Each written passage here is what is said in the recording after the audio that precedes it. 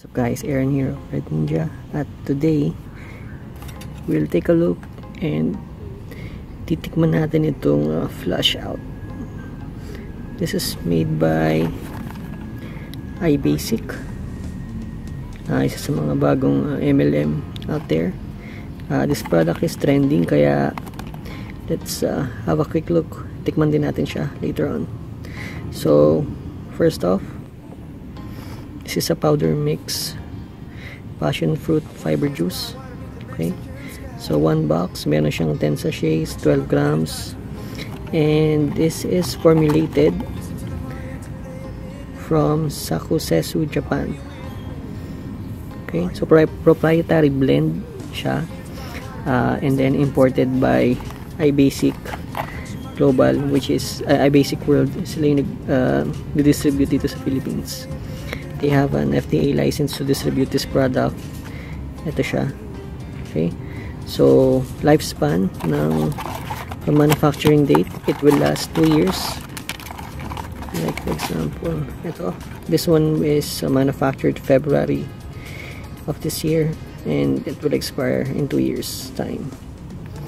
So inside of this 10 sachets ang ingredients we have uh, psyllium seed, oat powder, kiwi, apple guava, oligosaccharides, passion fruit, yung main, fla uh, main flavor niya.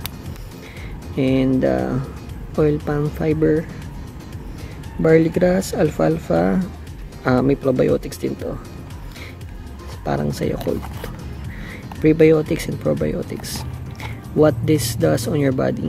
Uh, it will help you clean your colon. So, yung bituka natin, ina-absorb nito yung mga na-stuck na toxins sa bitu sa colon natin.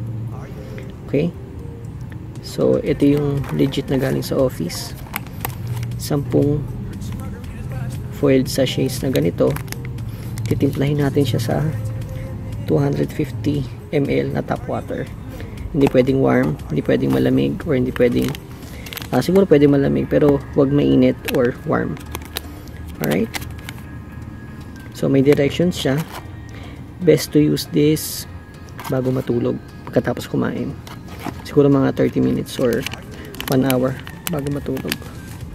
Para mag take effect siya sa body. Take a look on the powder. Yan siya.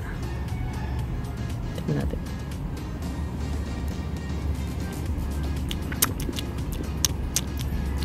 medyo matamis.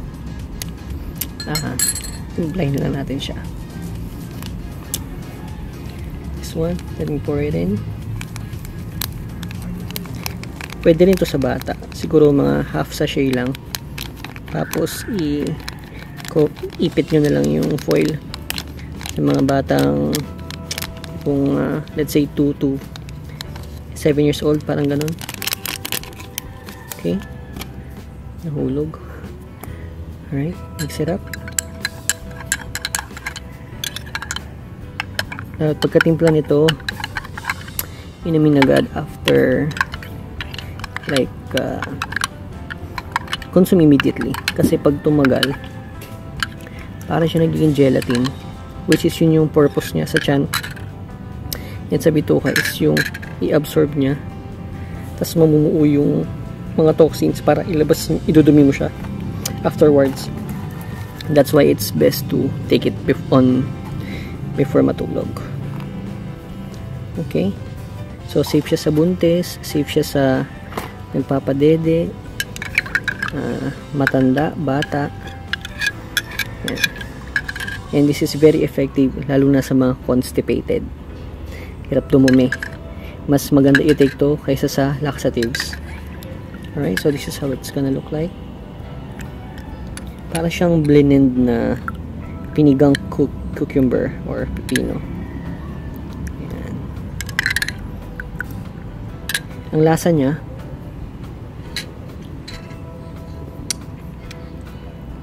Ah. Para siyang dahon. Dahon na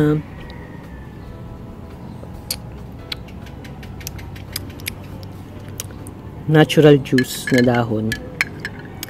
Hindi ko siya maihalin tulad sa kahit anong commercialized na juice eh. Mm. Para siyang matabang na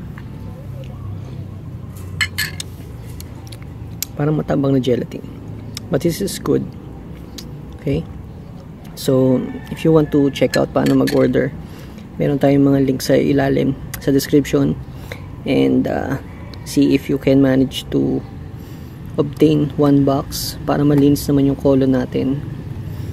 Okay? And then, uh, feedback kayo sa comments kung ano yung results. Right? Thank you for watching. Subscribe kayo para meron tayong updates about this one. Right? Again, Aaron of Red Ninja signing off. Thanks for watching.